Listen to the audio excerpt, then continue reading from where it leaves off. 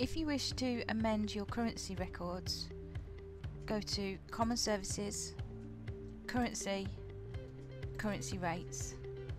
Click on the Browse button and select the currency that you want to amend and then click on the line that you want to delete and then use the delete button on your keyboard which will delete the one line.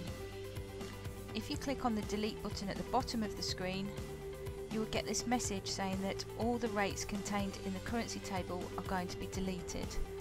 Are you sure you want to do this? Click no to avoid deleting all of the currency rates. Once you've finished amending, click save and then close.